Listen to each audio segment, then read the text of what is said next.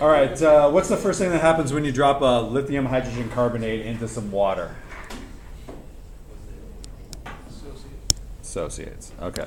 So I have uh, LiH um, CO3 solid. Put it in some water.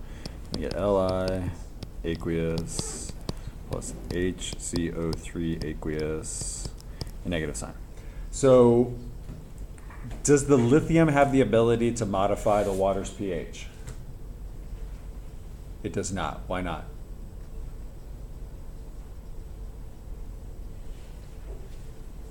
To modify pH, it would need to stick to something. Is lithium going to do that?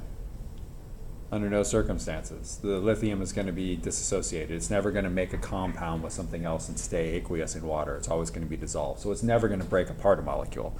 But conversely, with that, the um, carbonate, what could the carbonate be turned into? What would it like to be turned into? It'd like to be turned into carbonic acid. It would like to be turned into carbonic acid because it's a weak acid, so it wants to be stuck together. So the hydrogen carbonate is, it lost its H. And so what the hydrogen carbonate is actively doing is looking for a source of hydrogen to turn itself back into carbonic acid. That's what all the salts of the weak acids are doing. This is dissolved in water, so there's H's all over the place. And the hydrogen carbonate is strong enough to pluck an H off of the water molecule to turn itself into carbonic acid. And then I've got a hydroxide that wasn't there floating around in the water. So what's going to happen to our pH? It's going to go up. I have more hydroxides, so pH is going to go up. So um, what kind of words would you use to describe this? Those are our equations.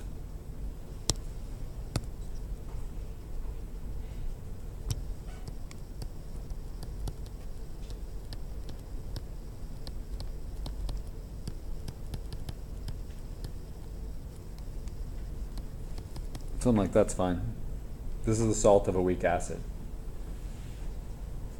The uh, carbonic acid was reacted with something like sodium hydroxide to make, or sorry, lithium hydroxide to make uh, lithium hydrogen carbonate. And when you drop that into water, it's going to raise the pH because it wants to turn back into carbonic acid.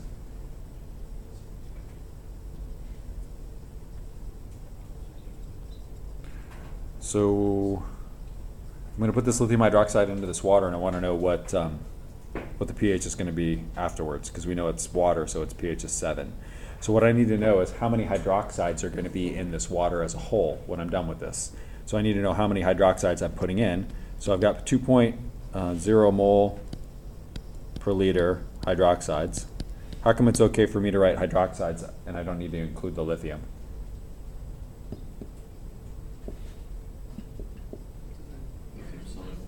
It's fully soluble, it's a strong base. So when the lithium hydroxide hits water, they aren't connected. So there's uh, 15 milliliters of this stuff. And so we end up with uh, one, two, three. So there's 0.03 moles of hydroxide in this 15 milliliters. But I'm going to dump it into this 485, and so this is going to end up being a half a liter total, 485 and the 15. So then I've got a concentration of 0.6. Is it 0.6? Or is it 0.06? 0.6? Mm-hmm. No, it's, yeah, it's 0.6, okay. And so then if I take the negative log of this, was a point, what?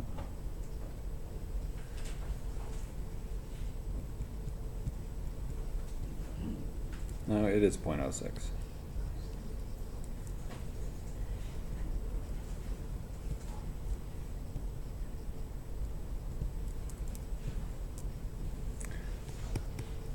Am I done? Uh, It's OH, this is my POH, so I need to know what my OH concentration is. So I've got, um, was it twelve point seven eight? There's my pH. So was this dramatic? Was this a dramatic change in pH from pH seven? Twelve point seven eight, right? Uh, Looking at like a million-ish change. All right, so water's a bad buffer. All right, so I've got some citric acid here, and I've got some um, sodium citrate, and my citric acid is my acid, so 0.22 and 2.25 log, and add that to 3.14 equals pH. So 3.14 plus log 2.25 divided by 0.22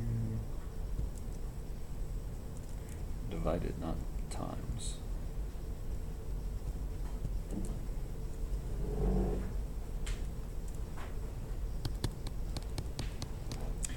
Okay, so this sodium uh, citrate citric acid buffer is buffering at uh, 4.15. And so I'm going to add that same lithium hydroxide to this, and I want to see how much the pH changes this time. So I'll take uh, 2 mole per liter times 0.015 liters, and so 0.03 mole OH, and 0.22 mole per liter, and 0.485 liters. And I got uh, 2.25 mole per liter and 0.485 liters. Okay, so 0.22 times 0.485 and 2.25 times 0.485. So I get uh, 0.1067 mole HA, 1.091 mole uh, A negative. So I'll put my ice table up here. HA, A negative, um, 0.1067, uh, 1.091. Okay, so I put lithium hydroxide in, and my buffer is consisting of my anion and my acid. What is the hydroxide going to react with, the anion or the acid? So I put a base in, so the acid's going to react with it. So that means I'm going to lose some of the acid that I had and gain exactly that same amount of uh, salt. Mm, uh, what is that? Point zero seven six seven and uh, one point one two one.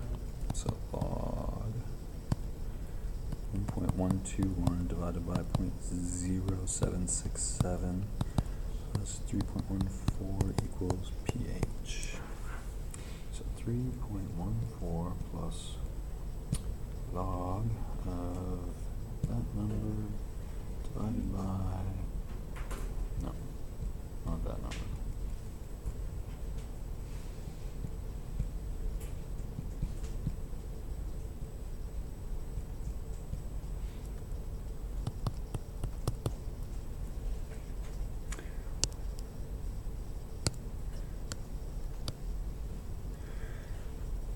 So, dramatic change in pH? Not so much.